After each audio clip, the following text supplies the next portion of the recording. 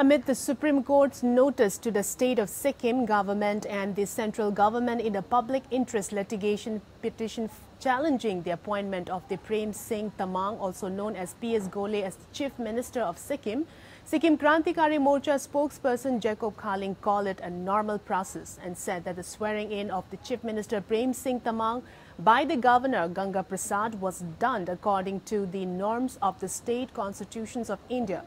The party said that will file an affidavit in response to the Supreme Court's notice.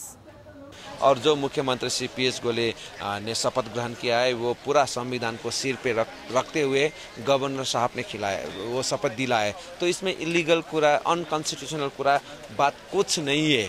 जनता ने P S गोले जी को मुख्यमंत्री चुना है और संविधान के तहत वो मुख्यमंत्री के शपथ लिया है तो इसमें कोई बड़ी बात नहीं है। वो नोटिस का हम जवाब देंगे, ये नॉर्मल प्रोसेस है।